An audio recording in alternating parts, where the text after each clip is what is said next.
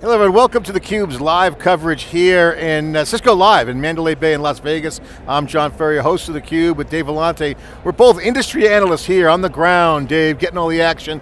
I've been covering Cisco Live for 13 years up close. I know you've done longer, even going back to your IDC days. What a big transition. This is a, water, uh, a hallmark moment for Cisco. Uh, we just came back from the keynotes. You wrote a post before the event that got a lot of criticism a little bit too harsh. I thought it was right on point. The Cisco team was a little bit looking at, whoa, whoa. Turns out you were right. Uh, the post was a great setup for what actually you thought they needed to address in your critical analysis. Um, Cisco rose to the occasion. You had Chuck Robbins here on stage and the Brain Trust, Liz Centoni, Jeetu Patel, Jonathan Davidson, and the new CMO, Carrie Palin. I mean, all CUBE alumni except for Chuck Robbins. Chuck, we got to get Chuck on. Chuck's got to come on the cube. You know, John, you're talking about, uh, I got some criticism, but I got it from both sides. I got some, some, some people said it was too easy on Cisco, others said they thought it was too harsh, so that I think is a recognition of a good, good balanced post. Because we told both sides, Zeus Kerravala, a friend of the Cube, helped us do that, sort of a member of the, the Cube's uh, you know, inner circle, if you will. But so, the, the point that we made, John, was to challenge Cisco to simplify. Mm -hmm you know, bust down those silos, and you heard that today. They, they talked about their networking cloud, they talked about their security cloud, they talked about full stack observability, weaving ThousandEyes throughout the portfolio, and really trying to dramatically attack complexity, which as you well know, John, is yeah. one of the big challenges in the IT industry generally and with Cisco's portfolio. So I give them high marks on really nailing that complexity and simplification message, and now it's got to play out over the next several years. They got to, they basically, in my view, John, I want you to think about this, to me they announced three super clouds. They announced a networking super cloud, a security super cloud, and a full stack observability super cloud, which sort of weaves through the other two. Now over the next couple of years, we're going to see those things come together. We're here in the pop-up cube here on the floor. This is one of our sets. You've seen the pop-up cube before, you've seen the bigger cube, of course. If there's no space, we'll do whatever it takes to get the story. That's the way we roll in the cube. But Dave, we've been getting into the more of the research analyst, obviously, side of it. As we get the data in, what I find really uh, compelling is that I can see the end path for Cisco, the game plan for Cisco, the end game. They embrace the cloud, okay, and they're going to do what Microsoft kind of did, but not that in a different kind of way. Microsoft had an install base, had a very low stock price, had no cloud action at all, all proprietary, .NET, no Linux, no open source. Satya Nadella came in, embraced the open source, embraced the, the market, leaned into the market forces, turned, made a tailwind out of it, and pulled their entire install base over. Cisco is doubling down on their networking and focusing like a laser on security. Now what they didn't talk about was the data underneath the security, so it's network plus security. It's infused in all of their conversations. So they got a really strong management team, like I said, all CUBE alumni. Jonathan Davidson knows his networking, Liz knows the tech, and you got Jeetu Patel who's got collaboration and security. They got Tom Gillis from VMware, another CUBE alumni. So Cisco's management team is pumping. They got fresh marketing blood with Carrie Palin. They got a great focus. And I got to tell you, they're more unified now than I've ever seen Cisco because they're in a position to not just move up the stack, but change the stack dynamics to be very cloud friendly, cloud first, and support on-premises and support the edge. So to me, the world is their oyster right now because if they can just get out in the marketplace, pull their install base, listen to the use cases that matter, not get dogmatic on some of the old muscle behavior of box, feature, you know, to networking, because that's, that's, the, that's their safety blanket. Um, they got to double down on their networking, and I think multi-cloud will be the home run for them. If you look at what they're doing with multi-cloud, they're poised for this super cloud trend that we're documenting. They got a network cloud, they got a security cloud, and it's about time, in my opinion, that Cisco did this. So a couple things, so not too far into Chuck Robbins' tenure, but, but far enough that he could sort of get a lay of the land. He reorganized the executive leadership team, and you're starting to see that the impact of that take effect. And I, I think, I mean, I wasn't there obviously, but I think he got him to the room and said, listen, you guys got to work together, okay? Let's stop the sort of friction and cross cross you know, organizational friction. We are going to work together, we're going to focus on customer outcomes. You heard today, the real focus, not so much more on, on features, they were joking, tongue in cheek, we love features, we're really on customer outcomes. Okay, it sounds like bromide, but that's a mindset. You know this well as a product person. you know, it's, it's enticing to build features. Now, a couple things. Security is about a billion dollar business for Cisco. Okay, we're talking about a, a company that's nearly $60 billion run rate company, so massive upside for security. What I really liked about what I heard today is they're simplifying security in the following ways. If you think about how sort of on-prem security works, and when you're, when you're accessing resources on-prem, you're, you're, you're, you're in a VPN, you're looking at, at, at IP addresses, but when you're talking to cloud and cloud native, services. right, it's services. They're making that, I guess opaque, they're, they're making that invisible Yeah. to the customer, which is I think a huge, huge trend. Now, in security, they got a big presence, but they're, but but nobody has double-digit market share. Maybe Microsoft, that's sort of debatable, but they're up against Palo Alto Networks. They're up against, you know, uh, uh, CrowdStrike and XDR. They're they're up against uh, Zscaler, Okta. These are sort of pure play companies that have certainly from a stock standpoint in the last year outperformed Cisco. Cisco's got a much broader base, but as Zeus Kerravala points out, Cisco throws off more cash you know, in a quarter than these guys, these guys throw off revenue in the entire year. Yeah. Right, so you got to put that into context. So Cisco's in an actually really interesting position. I think the challenge now is, obviously they got to deliver on this, what we call super cloud promise, that's simplification, and they got to bring those pieces together. The other thing we, we heard, sort of, you know, talking last night in the hallway talk, really Meraki is a key, right? And you know this, Yeah. Meraki and Catalyst, sort of different management environments, bringing those together under the really, the, the Meraki is kind of a linchpin of that Yeah. networking. Meraki is a key linchpin because it's very cloud native friendly. The, the, the development cycles are different than the old Catalyst. Catalyst kind of like the old school, like it's the, it's the reliable, you know, bus. It's like a But kind of it's- waterfall it's like- it's approach like- or- well, it's just a reliable old school Cisco. Old reliable and- TCP/IP, bread as they it's say. It's the bread and butter. It's bread and butter. But but Meraki gives them that edge with ThousandEyes integration. ThousandEyes is super critical to the success of their observability and, and their core products that kind of pulled together in the portfolio. But what I thought was more compelling than just that, Dave, was the fact that they brought some sizzle to the to the steak that they, they laid out. And the sizzle was, you had a very micro, um, AWS vibe. We're announcing this, we're announcing that, like a lot of slew of announcements, which is, you know, for Cisco, huge. They don't usually do that. The second thing is there's three points that I took away that I think is a net positive for the, I call it the long game for Cisco. Network at scale, at AI scale, silicon and networking uh, chops that they have. They got both silicon and networking and networking software chops, and AI-enabled security solutions. Those three areas came out in every single conversation. They're developing the portfolio with the eye on those three things. Network at, at AI scale, silicon and networking software, well silicon chips and networking software, and AI-enabled security solutions. So, yeah, really, really phenomenal. And uh, that's what broke it down. So in review of the keynotes, let's go through that. Liz came out on stage. Well, Chuck Robbins did the whole you know thing there, you know, kicked it off. Liz came on, talked about innovation, observability, API ecosystems, quantum, Quantum, I'll spend a lot of time on quantum. and she didn't talk about cloud native, but she teased it out as headroom for the future of developers. So I thought Liz hit the innovation angle. And well, that's and that's her her uh, uh, her swim lane, right? She's doing a lot of the innovation stuff, right? I mean, not they're all doing innovation, but she's doing the advanced innovation, right? That's under her her group. Whereas Jonathan Davidson has the networking, Jeetu Patel has security and collaboration, which is kind of a weird combo, but Yeah. they kind of gave it to him because he's product guy, right? Well, Jeetu is a platform guy. Yeah, so well- he's, he, he, I think that's a good fit for him. I think Yeah. giving just Jeetu just collaboration, he's strong enough manager to have more more meat Well, there. to your point, it, it's, we talked about this at RSA. You, the key takeaway at RSA, and you, you, you nailed this, was the platformatization, right, of security.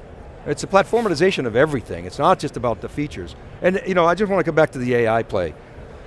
They were not like AI washing by any means. You didn't hear that from them. But at the same time, this is the year of AI. So to me, Cisco's AI play is a no-brainer. They're going to inject AI into their networks, into security, into collaboration, into observability. They're just going to inject it into their entire portfolio.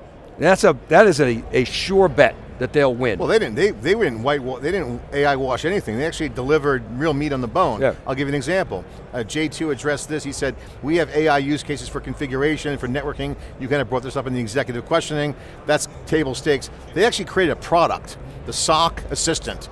So Yeah. they actually created a new product with AI, something that's more operational but yet relevant. Security-powered SOC. Security-powered It's SOC. to be really interesting to see how that plays with MSSPs. I think they're going to absorb it as partners, it could be a little bit, could little be a little bit threatening to some companies. You know, like you think about like an Arctic Wolf, right?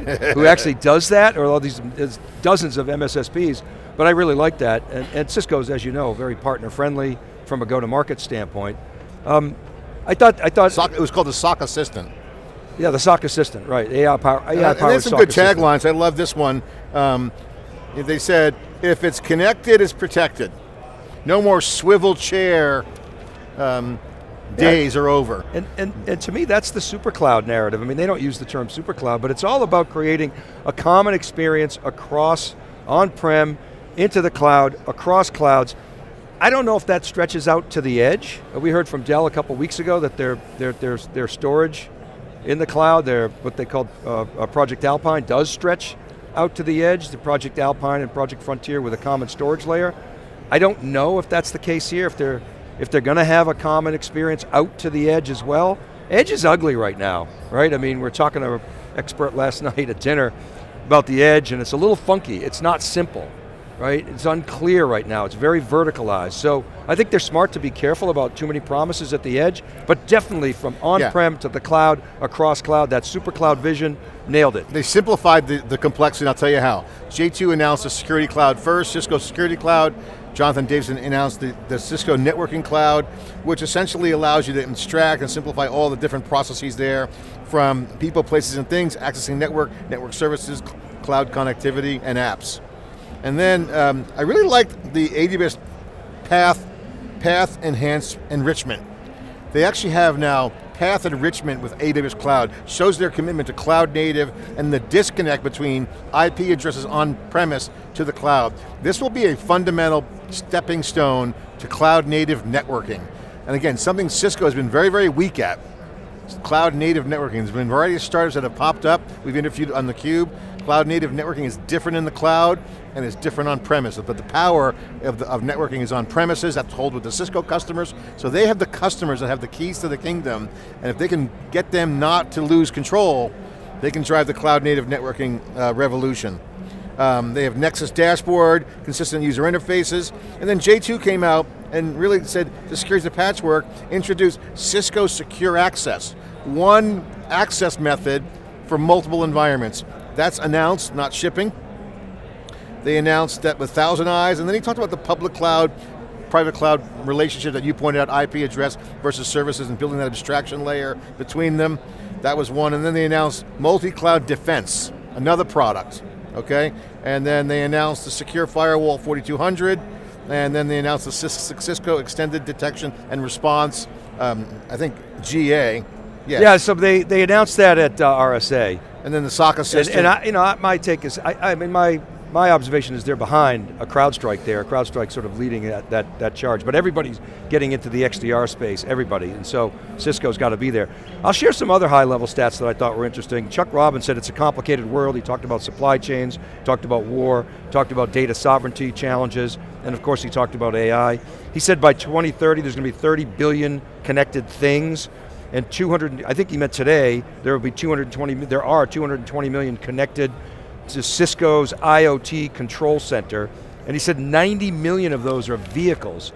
He talked about a single pane of networking glass. It's, it's definitely about time. We're, at, we're glad to see that, like you said, new firewall. Uh, CNAPP is coming and full stack observability. Observability is kind of a mess, as you know. You got people doing log analytics, log metrics. You got you know guys like Splunk who made a big splash there. You've got guys like New Relic. They bought AppD, and AppD it, it can really give you good visibility on application performance, but the piece that was missing was really the ThousandEyes, and they last year they sort of did a little veneer and integrated them better, yeah. but now they're really driving ThousandEyes throughout the portfolio to give full stack av availability or visibility. Yeah. And that, Cisco's a big player there. If, yeah. if, I were, I mean, I think some of these startups in, in, in observability, you know, they've raised a bunch of money, but it's a sort of weird space, right? You got a lot of the sort of legacy guys coming in, and I think Cisco's in a really strong position there because it's coming from the network strength. Same thing can be said for, for security. I mean, I think that network angle yeah. is huge. It's funny how they call it full stack observability when we've been saying the world's going half stack. They also use cloud first, which has been around for a while. um, but good to see Cisco getting in the game. I got to say, I'm, I am pretty enthused um, for Cisco, which I haven't been for a while because I mean I'm excited. I like the company, but like for the first time, the stuff that I cover, I go deep on open source software, innovation around cloud native, um, data, AI, and networking in the cloud. This is compelling. So big picture. Right, you got all these trillionaire companies, right? Obviously Microsoft, Google, two, two plus trillion, NVIDIA's sort of trying to get there, Amazon is there, obviously. Facebook dropped out, Facebook's now below Berkshire Hathaway. They, they at one point were over a trillion.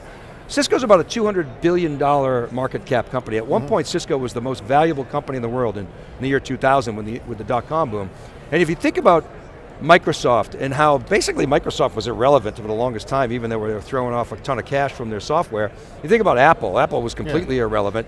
Both of those companies came back and, and now are incredibly successful. To me, Cisco has the brand, they've got the, the, the depth, the engineering talent, and the scope of, of, of, of customer and the observation space. They could do something really interesting. I don't know what that is, I know, do. I do. But but it's it's the next this next I, wave I, I know of, exactly of what the AI herd around the world. I'd love to get your thoughts on here, but we are entering a new wave, and Cisco could, in theory, capitalize that and and join that trillionaire club if they figure out, you know, what's there that's not incremental, but that's a radical sort of moonshot. What do you think it is? Well, I definitely see a path to the trillion dollars. I'll tell you how they get there, and this is actually, you know, the the right path, in my opinion.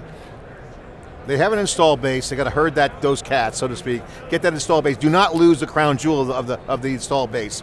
Get the use cases. Get them injected with their vision because their vision is accurate. They have an absolute solid vision bring a platform, bring the products together, build that horizontal end-to-end -end layer, bring in third-party data, because that's going to be critical. Network plus security is solid as a rock.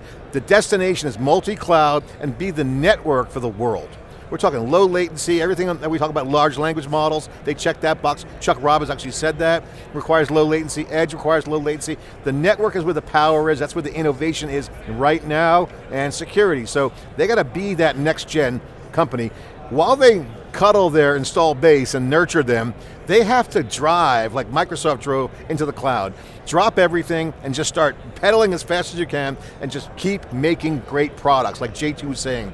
They have a path, they have a position, no one's going to replace Cisco, they're nested in there, they got a great competitive strategy. The worst thing that could happen to Cisco is they get distracted on the shiny, shiny new toy. Stay down, go to the cloud, full cloud ops, on-premise, edge, public cloud, distributed computing, they know networking. And they got to convert their people over as fast as possible.